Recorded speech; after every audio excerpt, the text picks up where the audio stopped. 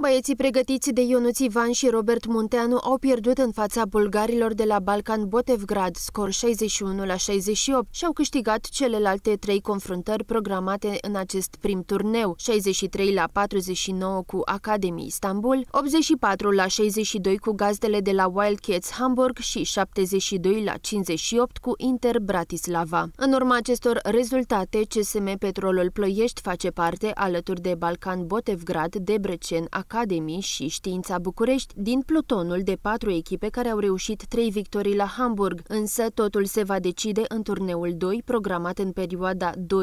februarie 2023 la Ploiești. CSM Petrolul Ploiești vine acasă și cu o serie de premii individuale, Codruț Dinu fiind considerat cel mai bun jucător al echipei în cele patru meciuri de la Hamburg, iar George Angelian a fost inclus în cel mai bun 5 al turneului din Germania.